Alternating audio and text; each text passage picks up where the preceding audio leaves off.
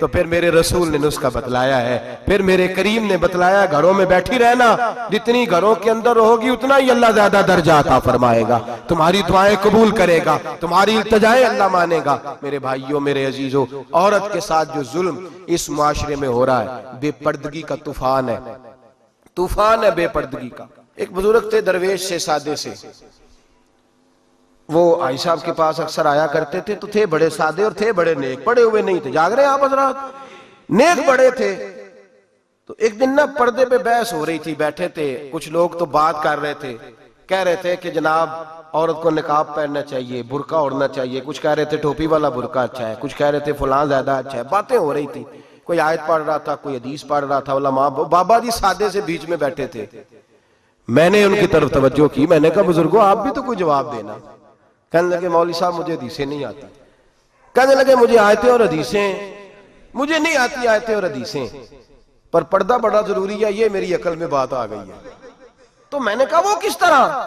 کہنے لگا یہ تو چھوٹے سے بچے کی بھی عقل میں آ جاتی ہے. میں نے کہا، صاحب، ہمیں بھی سمجھا دیں۔ چلیں، ہمیں کو بات مل جائے آپ۔ چلیں، اگر آپ نے علم نہیں پڑھا، تو عمر تو آپ کی زیادہ ہے نا؟ آپ نے بزرگوں سے باتیں سنی ہیں۔ تو کہنے لگے، بیٹا، میرا چھوٹا سا پوتا ہے۔ وہ بازار سے ٹافی خرید کے لاتا ہے۔ اگر ٹافی کے اوپر سے کاغذ اتار دیتا ہے نا، تو ٹافی میں مکھیاں بیٹھنی شروع ہو جاتی ہیں۔ ٹافی پہ مکھیاں بیٹھ جاتی ہیں۔ جب تک اس کے اوپر وہ لفافہ رہتا ہے، کاغذ رہتا ہے، اس پہ مکھیاں، اللہ کرے آپ کو سمجھ آئے۔ اللہ کرے آپ کو سمجھ آئے۔ اللہ کرے اس درویش کی بولی ٹکرا جائے۔ کہنے لگے، جب تک تو اس کے اوپر، اس کے اوپر کاغذ رہا، تب تک اس پہ مکھیاں اور جب اس کے اوپر سے کاغذ اتر گیا تو مکھیاں بیٹھ گئیں، کہنے لگے، چار سال کا میرا پوتا، میں نے منت کر دی کہ کھا لو۔ کہنے لگا، میں نہیں کھاتا، اس پہ مکھیاں بیٹھ گئی ہیں۔ میں نہیں کھاتا، گندی ہو گئی ہے۔ میں نے یہ ٹافی نہیں کھانی۔ کہنے لگے، میں بوڑھا آدمی دوبارہ دکان پہ گیا۔ جد و جہد کر کے نئی ٹافی لایا۔ بیٹے کو کہا، کھا لو۔ اب اس نے کھائی۔ کہنے لگے، مجھے سمجھ میں آ گئی۔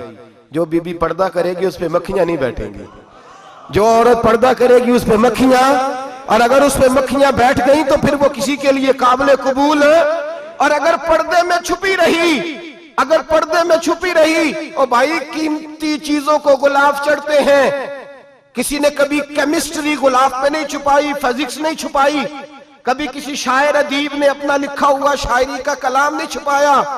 غلاف جب بھی چڑھتا ہے، قرآن پاک کو ہی چڑھتا ہے۔ میرے بھائی، کروڑوں اور اربوں اور خربوں کا مکان بنا کے لوگ اس کو غلاف نہیں چڑھاتے۔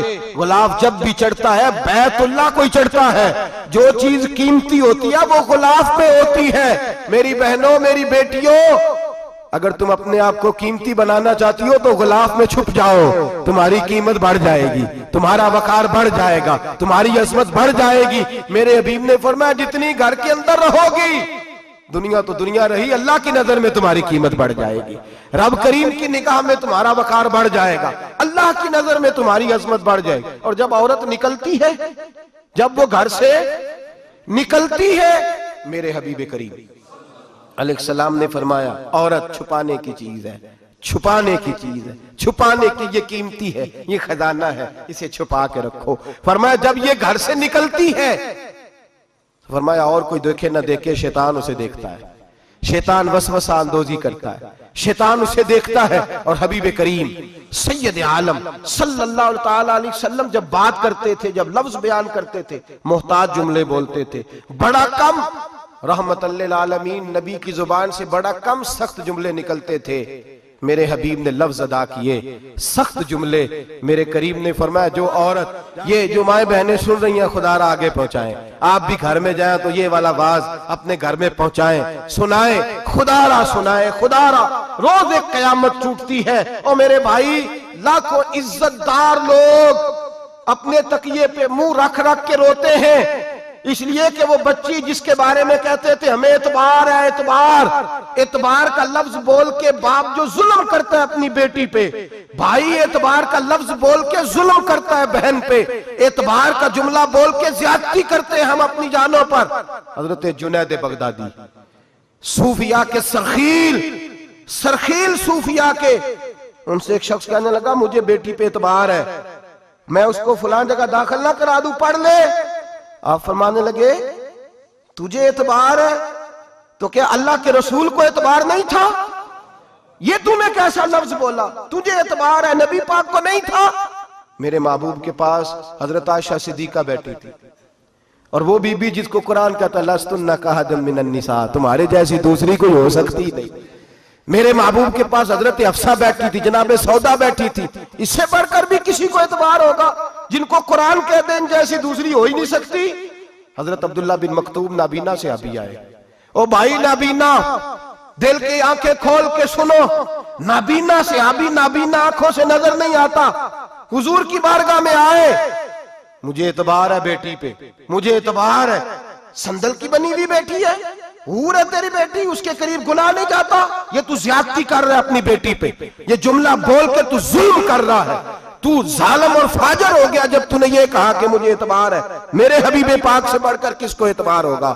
میرے کریم رسول سید عالم نور مجسم صلی اللہ تعالی علیہ وسلم نے فرمایا، حضرت عائشہ تھی حضرت افسا تھی حضرت سودا تھی عبداللہ ابن مکتوم نابینا آئے تو میرے نبی نے فرمایا بیبیو پردہ کرو۔ بیبیو بول کے بتائیے بیبیو سارے بولیے بیبیو اللہ کرے یہ آواز گون جائے پورے معاشرے میں بیبیو میرے نبی نے جملہ کہو بیبیو پردہ کر لو۔ پردہ کرو، نظریں جھکاؤ نقاب اوڑو ایک زوجہ بولی، حضور، انہیں تو نظر نہیں آتا۔ وہ تو بچارے نابینے ہیں۔ ترمیزی میں حبیب پاک کے لفظ سنیے۔ یا رسول اللہ، انہیں تو نظر نہیں آتا۔ میرے رسول نے فرمایا، تمہیں تو نظر آتا ہے نا۔ تم تو اندھی نہیں نا، وہ ایک مرد آیا ہے، وہ ایک سیابی آیا ہے۔ تمہیں تو نظر آتا ہے، تمہاری آنکھیں تو ہے اسے فتنہ آئے نہ آئے، تمہیں نظر آتا ہے۔ خبردار، پردہ کرو، آنکھیں جھکاؤ، چہروں پہ نقاب ڈالو۔ حضرت جنید بغدادی فرمانے لگے، اگر میرے رسول پاک اپنی ازواج کو کہتے ہیں، پردہ کرو۔ اور تو کہتا ہے، مجھے اعتبار ہے۔ اگر نبی پاک اپنی بیٹی حضرت فاطمہ کو کہتے ہیں، پردہ کر۔ تو کہتا ہے، مجھے اعتبار ہے۔ جناب جنید بغدادی مزید بولے، آپ فرمانے لگے، اگر حسن بصری پڑھانے والا ہو، رابعہ بصری پڑھنے والی ہو، اور بیچ میں قرآن پاک پڑھا ہوا ہو، پڑھانے والا حسن بصری، پڑھانے والے حسن بصری جنہوں نے مولا علی شیر خدا کی صحبت پائی جنہوں نے ام المومنین حضرت ام سلمہ کے گھر میں پرورش پائی، فرمایا پڑھانے والا حسن بصری، پڑھنے والی رابعہ بصری، وہ بی بی جو دعا مانگے تو اللہ مردہ اونٹ کو زندہ فرما دے۔ فرمایا، پڑھانے والا حسن بصری ہو، پڑھنے والے رابعہ بصری ہو، اور جو پڑھا جائے وہ قرآن ہو۔ فرمایا، قسم اللہ کی عزت کی، میں پھر بھی انہیں پڑھنے پڑھانے کی اجازت نہیں دیتا۔ میں پھر بھی انہیں تنہائی میں بیٹھنے کی اجازت نہیں دیتا۔ میں پھر بھی انہیں اکیلے رہنے کی اجازت نہیں دیتا۔ اس لیے کہ یہ حسن بصری ہیں اور منع کرنے والے امام الانبیاء ہیں۔ اس لیے کہ یہ رابعہ بصری ہیں اور منع کرنے والے سید الرسل ہیں خبردار، پھر بھی اجازت نہیں۔ میرے نبی کریم علیہ السلام بولے، حضور کی بارگاہ میں سے آبا نے عرض کیا کہ یا رسول اللہ، صلی اللہ علیہ وسلم، اگر کوئی نیک آدمی کسی نیک عورت کے ساتھ بے پردہ ہو، نیک آدمی، وہ پیر گناہگار نہیں جس کے پاس بیبیاں جاتی ہیں، وہ گناہگار نہیں، وہ تو مجرم ہے، وہ خالی گناہگار نہیں، وہ تو پاپی ہے، وہ خالی گناہگار نہیں، وہ تو دین کا ڈاکو ہے، ڈاکو، وہ تو فاسق ہے۔ وہ تو دین کی حدیں توڑنے والا ہے۔ وہ تو اس کو تو گھسیٹا جائے گا قیامت کے دن جو عورتوں سے بے پردہ ملتا تو گھسیٹا جائے گا۔ لیکن سوال یہ ہے، وہ خامد کدھر ہوتا ہے جس کی بیوی پیر کے پاس اکیلی جاتی ہے؟ سوال یہ ہے، وہ بھائی کدھر ہوتا ہے؟ جس کی بہن پیر کے پاس اکیلی جاتی ہے۔ سوال یہ ہے، بیٹا کدھر ہوتا ہے؟ جس کی اممہ اکیلی جاتی ہے۔ میرے نبی رحمت، نور مجسم، شفیع معظم، سرور کون مکہ سیاہ لامکہ صلی اللہ علیہ وسلم کی خدمت علی مرتبت میں سیابی نے پوچھا کہ یا رسول اللہ، اگر اگر نیک ہو بندہ، بی بی بھی نیک ہو، تو میں بیٹھ سکتے ہیں؟ آلہ حضرت نے فرمایا، اگر عورت دین سیکھنے چاہے، پیر کے پاس جائے تو اپنے خامن کے ساتھ جائے، اپنے بھائی کے ساتھ جائے، پھر بھی پردے میں بیٹھے، دور بیٹھے، آواز کے ساتھ بات کو سمجھے، لیکن اس کو تنائی کرنے کی اجازت، کسی کو بھی اجازت ہے وہ چاہے جو مرضی بھی ہو، کوئی بھی ہو، کوئی بھی ہو، بڑی کھلی بات کر رہا ہوں۔ میرے حبیب پاک سے پوچھا، حضور اگر مرد عورت نے ایک ہو، پھر بھی تنہا نہیں بیٹھ سکتے؟ میرے محبوب نے فرمایا، اگر زکریہ کے بیٹے یحییٰ ہو اور عیسیٰ کی والدہ مریم ہو تو پھر بھی میں انہیں تنہا رہنے کی اجازت نہیں دیتا۔ پھر بھی انہیں تنہا رہنے کی میں اجازت نہیں دیتا، پھر بھی اجازت نہیں ہے۔ جب میرے رسول پاک صلی اللہ علیہ وسلم نے اتنی پابندی لگا دی، جب بات حضرت حسن بصری اور رابعہ بصری کی آ گئی، جب بات جناب مریم سلام اللہ علیہ اور جناب سیدنا زکریہ علیہ السلام کی آ گئی، جب یہاں تک بات پہنچ گئی، تو پھر تو ماڈرن ہے۔ پھر تو زیادہ اعتبار والا ہے کہ تیری بیٹی یونیورسٹی ڈرائیور کے ساتھ جاتی ہے۔ پھر تو تو نے کہاں سے وہ اس کے اندر نور بھر دیا ہے کہ تیری بیٹی اکیلی گھومتی ہے؟ پھر کہاں تو نے یہ بات سمجھ لیا ہے کہ تیری بچی جہاں مرضی تنہا رہتی ہے؟ پھر تو کہاں سے وہ قوت لایا یہ تعلیم ہے۔ اقبال نے کہا، یار مشرق حوث میں گلتا شباب اریاں شراب اسیاں اسے بھی دیکھو گری کے اسیاں ہم ایسی تہذیب کیا کریں گے؟ اور اقبال کہنے لگے، تمہاری تہذیب خود اپنے خنجر سے خود کشی کرے گی اس لیے کہ جو شاخ نازک پہ بنے گا آشیانہ وہ نا پائیدار ہوگا۔ میرے بھائی، ہم لوگ ہم لوگ پہلے ہاتھ میں آگ کا انگارہ دیتے ہیں، پھر کہتے ہیں، بیٹے، تو نے جلنا نہیں۔ ہم پہلے اس کو ساری سہولیات دیتے ہیں، پھر کہتے ہیں، تو نے بگڑنا نہیں۔ میرے نبی رحمت، نور مجسم، شفیع معظم صلی اللہ علیہ وسلم نے فرمایا، جو بی بی، بن سور کے بازار جائے۔ میری طرف دیکھیں، آنکھیں کھول کے دیکھیں۔ یہ حدیث آپ نے سنانی ہے۔ انشاءاللہ بولیے۔ سنائیں گے انشاءاللہ تعالی؟ بول کے انشاءاللہ کہیے آپ کو ثواب ہوگا۔ سنائے گے انشاءاللہ؟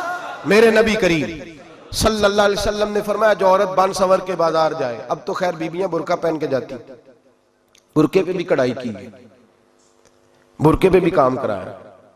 برکے پہ جو کام اور نقش نگاری ہوئی ہے، وہ دس ہزار کی ہے۔ برکہ پردے کے لیے پہننا تھا، دکھانے کے لیے۔ یہ کیسا برکہ ہے کہ اس نے برکہ بھی پہنا ہوا ہے؟ اور برکہ بھی اس نے فیشن والا پہن لیا ہے۔ یہ کس طرح کا اس تو اس تو پردے کو پردے کی ضرورت پڑ گئی۔ یہ کیسا پردہ ہے کہ جو پردے کو پردے کی ضرورت ہے؟ برکہ تو اس لیے ہوتا ہے کہ مجھے دیکھے کوئی نہ۔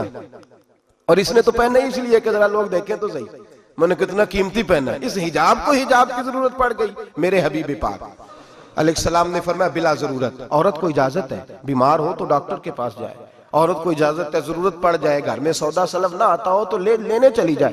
عورت کو اجازت ہے، اگر گواہی کی ضرورت پڑ جائے تو پردہ کر کے قاضی عدالت کے پاس گواہی دینے جائے۔ عورت کو اجازت ہے آج پہ جائے، عورت کو اجازت ہے عمرے پہ جائے۔ عورت کو اجازت ہے کہ اگر کسی وقت جہاد کے لیے عورتوں کی ضرورت پڑ گئی تو حضرت فاطمہ اور جناب عائشہ کی سنت ادا کرے، جہاد کو جائے۔ لیکن اگر عورت موج کرنے جائے اور روز کہے روز کہے وہ دیکھیں نا فلاں فلاں پارک میں تھے، آپ تو کبھی گئے ہی نہیں۔ فلاں فلاں جگہ تھے، آپ کے پاس تو فرصت ہی نہیں۔ فلاں میری سرگودے والی بہن کا خامن تو روز لے کے جاتا ہے۔ آپ نے تو کبھی توجہ نہیں فرمائی۔ روز پیغام دیتی رہے، روز پیغام دیتی رہے میرے حبیب کریم۔ سید عالم صلی اللہ علیہ وسلم نے فرمایا، جو بی بی بن سور کے بلا ضرورت۔ بن سور کے بلا ضرورت بازار جائے۔ نبی پاک علیہ السلام نے فرمایا، ایک قدم وہ اٹھائے گی تو اس پر اللہ کی لانت برسے گی۔ فرشتوں کی لانت برسے، زمین والے لانت برسائیں گے، آسمان والے لانت برسائیں گے۔ اور میرے حبیب بولے تو فرمایا، جب اللہ کی لانت برسے گی تو میں بھی اس بی بی پہ لانت ہی کروں گا۔ جو بی بی بن سور کے جائے، اور آگے سن لیں میرے حبیب نے فرمایا، اگر اس کا خامد راضی ہو، اس کے بن سور کے بازار جانے پہ آپ ناراض ہو جائیں، اللہ کرے اس بات پہ ہو ہی جائیں، اور اللہ کرے بدل جائے نظام۔ جو خامد خود میک اپ کرا کے، تیار کرا کے پارٹی میں لے کر کے جائے۔ جو سامنے والی فرنٹ سیٹ پہ خود بغیر نقاب کے اس کو بٹھائے، جو موٹر سائیکل کی پشت پہ خود تیار کرا کے بٹھائے، اور جو خود کہے، تو چلی جانا، جا، تو شادی بھی تو دیکھا، فلاں کام بھی تو کارا، میں آزاد ہوں۔ میرے حبیب نے فرمایا، جس کی بیوی بن سور کے جائے، جس کی بیوی میک اپ کر کے جائے، چیلم پہ بھی بیوٹی پارلر سے ہو کے جاتی ہے۔ جس کی بیوی بن سور کے نکلے، وہ راضی ہو۔ وہ خوش ہو بعض ایسے منع کرتے ہیں، ناراض ہوتے ہیں۔ وہ گناہ صرف عورت کے ذمہ ہے، لیکن اگر عورت بن سور کے نکل رہی ہے اور خامد راضی ہے، وہ کہتا ہے ہاں ہاں ہم ماڈرن ہیں، ہم جدید دور کے ہیں۔ ہاں جدت اسی کا نام ہے۔ ہاں پھر لوگوں کو پتا کیسے چلے گا ہمارے پاس پیسے؟ ہیں کیسے پتا چلے گا کہ تین گاڑیاں ایک ابا جی کے پاس ہے، ایک بیٹی کے پاس ہے، ایک بیوی کے پاس ہے؟ کیسے پتا چلے گا کہ ہم بہت تعلقات والے ہیں؟ ابا جی فلاں شادی پہ، بیٹی فلاں گھر میں، اور بیوی فلاں گھر چلی گئی ہمارے تعلقات زیادہ ہے اس لیے ہمیں زیادہ جانا پڑتا ہے۔ میرے حبیب کریم، علیہ السلام نے فرمایا، عورت بن سور کے جائے خامد راضی ہو۔ وہ جتنے قدم اٹھائے گی، اتنے ہی اپنے خامد کے لیے جہنم میں مکان تعمیر کرے گی۔ فرمایا، اس کے خامن کے لیے اتنے مکان دوزخ میں تیار ہو گئے۔ وہ جلایا جائے گا، وہ تپایا جائے گا، وہ جہنم کی آگ کا انتھن بنے گا۔ اور میں نے شاید آپ کو درجن بار حدیث سنائی ہو۔ میرے کریم رسول نے فرمایا بی بی ایک ہوگی۔ پر چار آدمیوں کو جہنم میں لے کے جائے گی۔ یا رسول اللہ، کس کو؟ فرمایا، باپ نے پردے کا نہیں کہا تو باپ بھی دوزخ میں جائے گا۔ اگر بھائی نے پردے کا نہیں کہا تو وہ بھی دوزخ میں جائے گا۔ شوہر نے پردہ نہیں کرایا تو وہ بھی جہنم میں جائے گا۔ وہ بیٹا وہ بیٹا جو کہتا تھا، نا نا، سوا لاکھ کا موبائل لینا ہے۔ تو اممہ نے گھر کے اندر شور ڈال دیا، مجبور کیا، خامن کو لے کر کے دیا۔ اس بیٹے سے پوچھا جائے گا، تو ساری جدیں اممہ سے منواتا تھا۔ یہ تو نے کیوں نکاح پردہ کر لے؟ اور اب تو بی بی ذرا چالیس سال کی ہوتی ہے تو کہتے ہیں، میری خیر ہے، میں بوڑھی ہو گئی ہوں۔ میری خیر ہے۔ روٹیاں ساری کھاتی ہوں، باقی سارے کاموں میں جوانوں کی طرح ہوں۔ پردہ نہیں میں نے کرنا میری خیر ہے، فلانا تو میرے بیٹے کی طرح۔ ظلم کی حد ہے، ظلم کی حد۔ کزن ایک دوسرے سے ہاتھ ملاتے، کزن۔ وہ کس مصیبت کا نام ہے؟ کہتے ہیں یہ بھائی ہے۔ او بھائی، یہ بھائی ہوتا تو اس سے نکاح نہ جائز ہوتا۔ اب چونکہ اللہ نے اس کے ساتھ نکاح کو حرام رکھا ہے، تو یہ تمہارا بھائی ہو سکتا؟ میرے رسول کریم صلی اللہ علیہ وسلم نے فرمایا، سور نجسو لین ہے۔ کتا بالکل ناپاک نہیں ہوتا۔ کتا بھیگ جائے تو بعد اوقات ناپاک ہوتا ہے۔ یہ کتے کے منہ سے تھوک نکلے تو ناپاک ہوتی ہے۔ سور نجسو لین ہے پورا ناپاک، خشک بھی ہو تو ناپاک ہے۔ میرے حبیب پاک، علیہ السلام نے فرمایا، ایک سور ہو، وہ پہلے ہی ناپاک، اور دوسرا پھر وہ سور گاند میں لپٹا ہوا ہو۔ غلازت سور کو لگی ہوئی ہو۔ فرمایا، ایک تو سور جو نجسو لین ہے، اور پھر وہ گاند میں لپٹ جائے، غلازت میں بھر جائے اس کے پورے وجود کو گندگی لگ جائے۔ فرمایا، وہ سور گندگی اور غلازت میں لپٹا ہوا، تیرے جسم سے لگ جائے تو اتنا برا نہیں۔ جتنا غیر محرم عورت کا وجود تیرے وجود سے لگ جائے تو برا ہے۔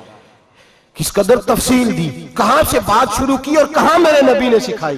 کزن ہاتھ ملا رہی ہے، کزن کے ساتھ بازار جایا جا رہا ہے، کزن کے ساتھ فلاں کام ہو رہا ہے، کزن کو چچا کا بیٹا بھائی ہوتا ہے۔ اگر یہ سگا بھائی ہوتا تو اس کے ساتھ نکاح نجائز ہوتا۔ خدا را خدا را آ جاؤ، لوٹ آؤ، واپس پلٹو دین کی طرف۔ لوٹو، اس تباہی سے نکلو۔ یہ جو آگ ہے، یہ جو بے سکونی ہے، یہ جو تماشا ہے، یہ لاکھوں کمانے کے باوجود جو بے برکتی ہے، یہ بڑی بڑی فوجوں کے باوجود جو روز میتیں اٹھتی ہیں، یہ جو روز جنازے پڑے جاتے ہیں، یہ جو روز بیٹیاں بیوہ ہوتی ہیں، یہ جو روز ماؤں کے سہاگ لٹتے ہیں، یہ ہماری نافرمانیاں ہیں۔ ہم ہم دین دین کے معاملے میں ہم لوگوں نے نرمی شروع کر دی ہے۔ ہم اللہ اور اس کے رسول سے بغاوت کرنے لگے ہیں۔ میرے حبیب کریم، سید عالم، نور مجسم، شفیع معظم صلی اللہ علیہ وسلم نے فرمایا فرمایا زنا صرف شرمگاہ کا نہیں ہوتا۔ حضور نے فرمایا آنکھیں بھی زانی ہوتی ہیں۔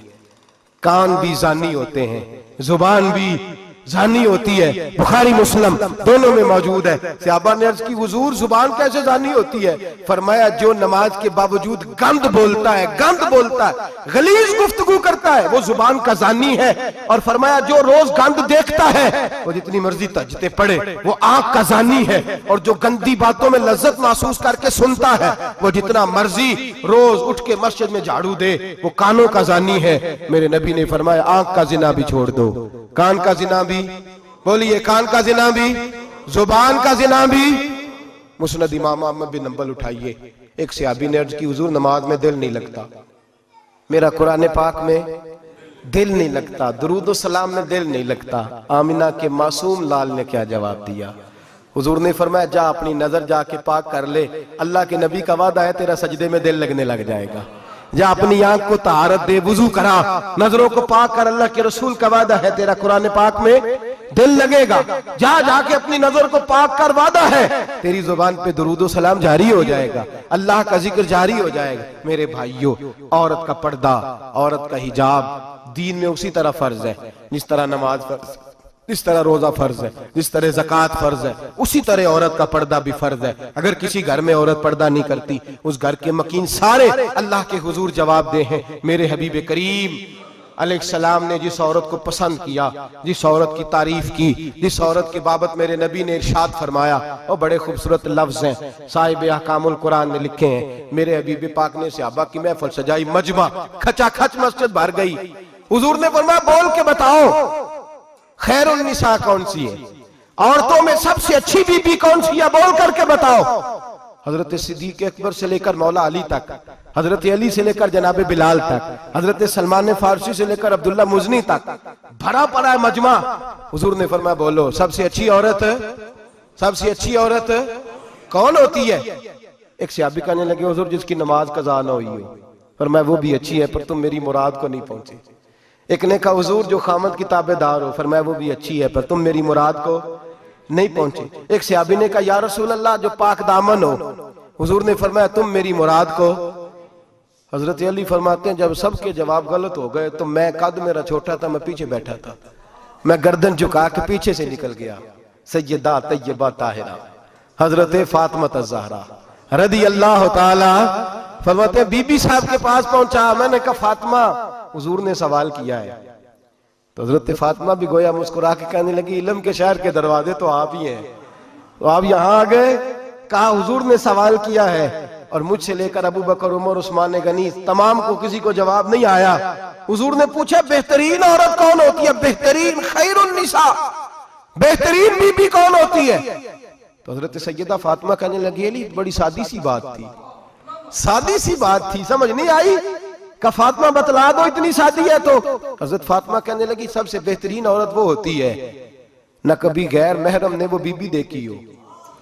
اگلے جملے بھی یاد رکھنے نہ کبھی غیر محرم نے وہ بی بی دیکھی ہو۔ اور فرمایا، نہ اس بی بی نے کبھی کوئی غیر محرم دیکھا ہو۔ صرف مرد پہ پابندی نہیں کہ وہ عورت نہ دیکھے۔ فرمایا، عورت پہ بھی پابندی ہے کہ وہ بھی غیر محرم کا چہرہ نہ دیکھے، فرمایا بی بی نے بھی غیر محرم نہ دیکھا ہو وہ خیر النساء ہے، وہ سب سے آلہ حضرت علی کہتے، میں جھٹ سے آیا، پیچھے بیٹھا، بات ابھی جاری تھی، میں نے ہاتھ کھڑا کر دیا۔ میں نے کہا، حضور، میں بتاؤں۔ نبی پاک نے فرمایا، بتلاؤ؟ تو کہتے، میں نے کہا، حضور، بہترین بی بی وہ ہوتی ہے جس نے نہ کبھی غیر محرم دیکھا ہو اور نہ غیر محرم نے کبھی اسے دیکھا ہو۔ علی فرماتے ہیں میں نے جواب دیا تو میرے رسول کی آنکھوں میں آنسو آ گئے۔ حضور روئے۔ اور فرماتے ہستے مسکراتے اچانک سے ابا کے آنسو برسنے لگے۔ مجمع پہ کیف سا تاری ہو گیا۔ آنکھیں برسنے لگی۔ ہم لوگ حضور کے رونے پر سکتے میں آ گئے نظر اٹھائی۔ تو جواب تو میں نے دیا تھا۔ تعریف میری ہونی چاہیے تھی۔ شاباش مجھے ملنی چاہیے تھی۔ میرے حبیب نے رو کے آنسو پوچھ کے فرمایا، میں تمہیں کہتا نہیں الفاطمہ تو بدا تو منی۔ فاطمہ واقعی میرے جگر کا ٹکڑا ہے۔ فاطمہ میرے وجود کا حصہ ہے، میں تمہیں کہتا نہیں رہتا۔ کہا، فاطمہ میرے جگر کا ٹکڑا ہے۔ حضرت علی فرماتے ہیں، صحابہ میری طرف دیکھنے لگے اور کہنے لگے، علی جواب تو دے، شاباش بی بی صاحبہ کو ملے۔ تو کہتے ہیں، میں نے کہا، حضور روئے ہیں تو آنسو میرے بھی چھلک ہی پڑے ہیں۔ فرمانے لگے، لفظ میرے ہیں. پر سوچ اس بیٹی کے ہے جس کی تربیت محمد عربی نے فرمائی ہے۔ فرمایا، جملے میرے ہیں۔ ناقل میں ہوں، بات میں بیان کر رہا ہوں، لیکن پیچھے سوچ اس نور والی بیٹی کی ہے جس کو اپنے گھر کے اندر رہ کے آنگل میں رکھ کے رسول پاک نے پرورش فرمائی۔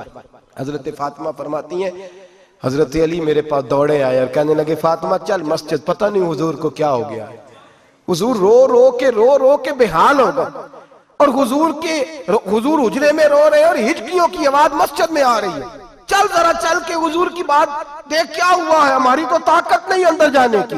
سیدہ طیبہ طاہرہ، حضرت فاطمہ جھٹ سے پردہ اوڑا حاضر خدمت ہوئی، اندر گئیں، کہتی ہیں، حضور کے کندھے پہ ہاتھ رکھا تو محبوب بیٹی کے ہاتھ کی ٹھنڈک محسوس کی سر سجدے سے اٹھایا۔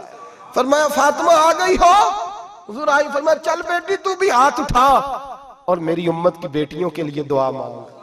چل، تو بھی ہاتھ اٹھا۔ میری امت کی بہنوں ماؤں کے لیے دعا مانگ۔ محبوبہ، کیا ہوا؟ میرے حبیب نے فرمایا، رات مجھے دکھایا گیا ہے۔ دوزخ میں کچھ بیبیاں ہیں۔ ان کے بال فرشتوں نے باندھے ہوئے ہیں اور انہیں گرز مار رہے ہیں۔ وہ چیختی، چلاتی ہیں اور مدد کے لیے پکارتی ہیں۔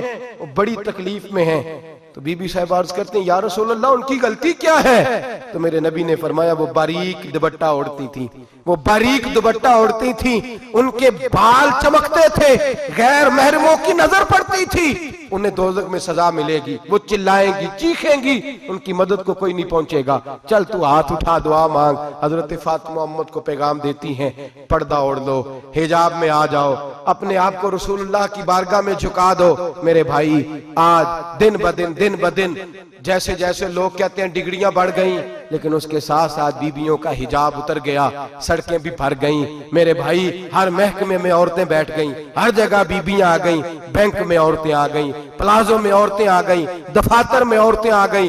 جگہ جگہ جگہ جگہ گناہ کے یڈے قائم ہو گئے۔ حبیب کریم، سید عالم، نور مجسم، شفیع معظم صلی اللہ تعالی علیہ وسلم نے فرمایا، جب بی بی گھر سے نکلتی ہے، شیطان اسے تاڑتا ہے وسوسہ اندوزی کرتا ہے عورت نازک ہوتی ہے، عقل کی عادی ہوتی ہے، اس کو لوگ وسوسے میں ڈال لیتے ہیں۔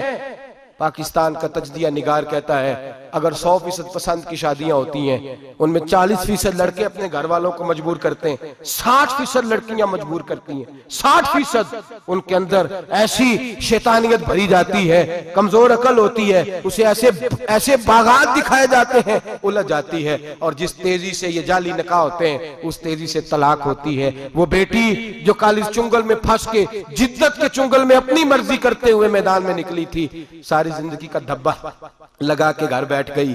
لڑکا طلاق دے کے بھی پاک کا پاک ہی رہتا ہے اور بیٹی کی منگنی بھی ٹوٹ جائے۔ تو لوگ کہتے ہیں کوئی نہ کوئی بات تو ہوگی۔ ایسے تھوڑی ہو جاتا ہے بیٹیوں تمہیں رسوا کیا جا رہا ہے۔ بہنوں تمہاری عزت سے کھلواڑ ہو رہا ہے۔ تمہیں بازار کی زینت بنا کے تمہارے اصل مقام سے تمہیں گرایا جا رہا ہے۔ تم سمجھ رہے ہم جدید ہو گئی لیکن تمہارا نقصان ہو رہا ہے۔ تمہیں رسوا کیا جا رہا ہے۔ آؤ در رسالت ماپ پہ۔ آؤ میرے نبی پاک کے دروازے پہ میرے حبیب نے فرمایا، جس بی بی میں چار خوبیاں ہوں۔ کتنی ہوں جی؟ یہ آپ نے دعا کر کرنی، اللہ کرے میری بیٹی میں چاروں خوبیاں آ جائیں۔ اللہ کرے میری بہن میں چاروں خوبیاں آ جائیں۔ اللہ کرے ہماری گھر کی مستورات میں اونچا آمین کہیے، سب میں چار خوبیاں۔ اللہ کرے بھر جائے چار خوبیاں۔ میرے حبیب نے فرمایا، جو بی بی ضروریات دین کا علم جانتی ہو، دوسری خوبی اس بی بی کے اندر یہ ہو کہ وہ بی بی اپنے خامن کو راضی کرنے والی ہو۔ تیسرا فرمایا اس بی بی میں خوبی یہ ہو کہ اللہ کے محرمات کا خیال رکھتی ہو، حرام میں نہ پڑتی ہو۔ چوتھا فرمایا، پردے کی پابند ہو۔ فرمایا، جیسے ہی وہ مرتی ہے، عرش کا مالک اس سے حساب ہی نہیں لیتا، اسے بغیر حساب کتاب ہی جنت عطا فرما دیتا ہے۔ جو پردے کی پابند ہو خامد راضی ہو، محرمات سے بچتی ہو۔ فرمایا، وہ بی بی اللہ تبارک و تعالی اس سے کوئی حساب کتاب؟ بغیر حساب کے اللہ اس کو جنت میں داخل کر دیں گے۔ رب حساب نہیں پوچھے گا۔ اللہ کرے، میری بیٹی بھی بغیر حساب جنت جائے۔ مائیں بہن بیویاں بغیر حساب جنت میں جائیں۔ اللہ کرے ہم سب کے گھروں میں جتنی عورتیں ہیں، ان سے کوئی حساب نہ لیا جائے۔ بغیر حساب بھی جنت میں جائیں۔ پھر انہیں پردے کا پابند کرو۔ پھر انہیں شوہر کی تعظیم سکھاؤ۔ پھر انہیں حرام سے بچنا سکھاؤ۔ پھر انہیں رسول اللہ صلی اللہ علیہ وسلم کی بیٹی کا اسوہ نور سکھاؤ۔ پھر انہیں حضرت عائشہ کی سیرت پڑھاؤ۔ پھر حضرت خطیجت القبرہ کا طریقہ بتلاؤ۔ پھر انہیں رسول اللہ کی کنیزائیں بناؤ۔ اللہ کرے، ہم یہاں سے جمعہ پڑھ کے جائیں۔ تو ہمارے ہاتھ میں ایک برکہ بھی ہو۔ ہمارے ہاتھ کے اندر جو ہے وہ ایک بڑی چادر بھی ہو، امبا کو کہے، امبا یہ چادر رکھ، اس سے نقاب اوڑ کے نکلنا۔ اللہ کرے چودری صاحب، سرپنچ صاحب کی پنچایت میں کوئی ایسا مقدمہ بھی آئے جو آ کے کہے، میں بیوی نہیں رکھ سکتا، یہ پردہ نہیں کرتی۔ یہ کہیں مجھے بھی عذاب میں مبتلا نہ کرے۔ اللہ کرے، شوہر اس طرح کا غیرت مند بنے۔ وہ کہے، خبردار خبردار۔ اگر تو دروازے سے نکلی، اعلیٰ حضرت، امام اہل سنت مجدد دین و ملت، میرے اعلیٰ حضرت سے کسی نے پوچھا تھا کہ حضرت جی بی بی نات پڑھ سکتی ہے؟ فتح رضویہ کی چودویں جلد بی بی ملاد پڑھ سکتی ہے ملاد اعلیٰ حضرت نے فرمایا، اگر بی بی ملاد پڑھ رہی ہو نات پڑھ رہی ہو، اور اس کی آواز غیر محرم کے کانوں تک جا رہی ہو، فرمایا اسے ثواب نہیں ہوگا، اسے حرام کام کرنے کا گناہ دیا جائے گا۔ بی بی کو منع ہے، وہ نات کی آواز بھی عورت کا ہی نہیں پڑتا دین میں تو عورت کی آواز کا بھی پڑتا ہے۔ دین میں تو عورت کی حضرت سیدہ زینب۔ حضرت فاطمہ کی وہ لخت جگر جو میدان کربلا میں امام حسین برابر کی شریک رہی سیدنا امام حسین کے ساتھ۔ یحییٰ بن معین کہتے ہیں، میں پندرہ سال تک حضرت زینب کا پڑوسی رہا ہوں، پندرہ سال۔ گھر برابر ہوتا ہے نا؟ بندہ بی بی دیکھ ہی لیتا ہے۔ وہ بی بی کبھی پردہ ڈال کے جا رہی ہے، دوائی لینے کبھی نظر آئی جاتی ہے۔ کہتے ہیں، پندرہ سال میں سیدہ فاطمہ کی بیٹی کا پڑوسی رہا ہوں۔ میں نے کبھی برکے میں چھپی ہوئی زینب بھی نہیں دیکھی۔ برکے میں چھپی ہوئی زینب بھی کبھی نہیں دیکھی۔ حضرت عبداللہ بن جعفر تیار جناب علی المرتضی کے بھائی تھے۔ ان کے بیٹے کے ساتھ ان کا نکاح ہوا تھا۔ بیمار ہو گئی۔ تو حضرت عبداللہ کہنے لگے، زینب چل تجھے حکیم کے پاس لے جاؤں، طبیب کے پاس لے جاؤں۔ تو حضرت زینب کہنے لگی، آپ جائیے، میرا حال بتا کے دوائی لے آئیے۔ تو حضرت عبداللہ جعفر تیار کہنے لگے، شریعت میں گنجائش ہے ڈاکٹر کے پاس جانے۔ حکیم کے پاس جانے کی گنجائش ہے تو چلتی کیوں نہیں؟ تو حضرت زینب کہنے لگی، شریعت میں گنجائش تو ہے، پر عبداللہ میری مجبوری یہ ہے کہ میں فاطمہ کی بیٹی ہوں۔ شریعت میں گنجائش تو ہے، پر میری مجبوری یہ ہے کہ میں حسین کی بہن ہوں۔ شریعت میں گنجائش ہے، پر میں حسن کی بہن ہوں۔ شریعت میں بڑی گنجائش ہے۔ پر لوگ مجھے محمد عربی کی نواسی کہتے ہیں۔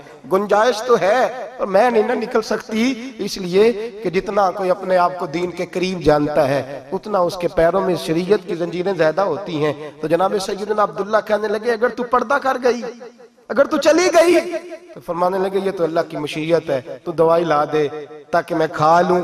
اور اگر میں چلی گئی، تو میں اپنی ماں سے جا کے کہوں گی کہ اماں، ساری تکلیفیں میں نے چھاتی پہ برداشت کی ہیں، پر میں نے تیرے پردے پر آنچ نہیں آنے دی۔ میرے بھائی، یہ اسوہ نور ہے، یہ اسوہ حسنہ ہے، یہ ہمیں سکھایا جا رہا ہے۔ میرے حبیب کریم کی بیویوں کا یہ حال تھا، بیویوں کا۔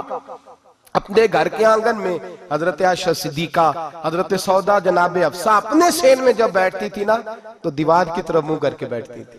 دیوار کے ساتھ لگ کے دیوار کی طرف۔ بیبیاں اپنے گھر کے اندر بھی دیوار کی جانب منہ کر کے بیٹھتی تھی۔ لوگ پوچھتی، بیبیاں پوچھتی کہ اپنے گھر میں بھی دیوار کو منہ کرنے کا مطلب؟ کہتی، ہو سکتا ہے کچھ چھت پہ چڑھے، اچانک نظر پڑے۔ تو ہم چاہتی ہیں پھر بھی ہمارا چہرہ نظر نہ آئے اسے، پھر بھی ہمارا ہمارا چہرہ نظر ہم اپنے گھر کے اندر بھی پابند رہتی ہیں کہ ہمارے چہرے نظر نہ آئے۔ خدا را بڑے پیسے زندگی میں لٹائے ہیں۔ ایک ایک ہزار، ڈیڑھ ہزار برکے پہ بھی خرچ کرو، وہ گھر لے جاؤ، وہ اماں کو بھی دو، بہن کو بھی دو، بیوی کو بھی دو، اس کو کوئی پہن لے۔ اس لیے کہ جب تو حضرت فاطمہ کے طریقے کا پردہ کرے گی تو تیرے آنگن میں سیدہ زینب کی طرح کی بیٹیاں پیدا ہوں گی۔ وہ اس سنت پہ چلنے والی بیٹیاں تیرے آنگن میں آئیں گی۔ خدا را خدا را میرے بھائی، آج یہ نیت کرو، یہ ارادہ کرو اور اپنے گھروں کو پردے کا پابند بناؤ۔ اگر ایک بیٹی پردہ دار ہو گئی تو کئی خاندان پردہ دار ہو جائیں گے۔ اگر ایک بیٹی پردہ دار ہو گئی تو کئی کئی گھرانے سمریں گے، کئی جگہ پہ نور پھیلے گا۔ اے عرش کے مالک، اے میرے محبوب کے خدا، تجھے واسطہ ہے میرے محبوب کی بیویوں کا اور تجھے صدقہ حضور کی شہزادیوں کا۔ اے اللہ، اتنا کرم برسا، اتنی رحمت برسا کہ میرے وطن کی بیٹیاں اور میرے میرے وطن کی مائیں بہنیں، بچیاں، یہ سمجھ جائیں۔ کہ ہماری نجات صرف حضرت فاطمہ کے برکے میں ہے، حضرت عائشہ کے پردے میں ہے، سیدہ ختیجہ القبرہ کے حجاب میں ہے۔ اللہ کرے یہ سمجھ جائے اور یہ جب بھی سجدہ کریں، تجھ سے حیائی مانگیں۔ یہ تجھ سے جب بھی سجدہ کریں، یہ تجھ سے اپنے لیے چادر تطہیر اور پردہ تنویری مانگیں اللہ کرے مجھ بے عمل کی منہ سے نکلے ہوئے لفظ کسی کے دل میں تاثیر بن کے اترے اور پھر دنیا کے اندر یہ رواج عام ہو کہ ہر کوئی پردہ کرے، ہر کوئی با پردہ ہو جائے۔ اے اللہ تو تاثیر نازل فرما۔ اے اللہ تو عمل کی دولت نازل فرما۔ اے اللہ ہماری بیٹیوں کو عزت کی چادر عطا فرما۔ ہمیشہ مدحت خیر اللہ نام میں گزرے۔ دعا ہے یہ عمر درود و سلام میں گزرے۔ آخر دعا۔